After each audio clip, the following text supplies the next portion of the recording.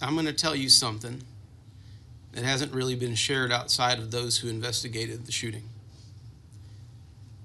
In the classroom where the shooter tore those kids apart is a whiteboard. On one side of that whiteboard was a banner that said Lovebirds and had the names of some of these innocent kids who were dating. Hmm. It listed four puppy love couples. Three of those pairs included kids who were murdered in that classroom that very day. The other side of what that whiteboard had uh, was empty. However, the attacker scooped up the blood of his victims and smeared it into a disgusting message there.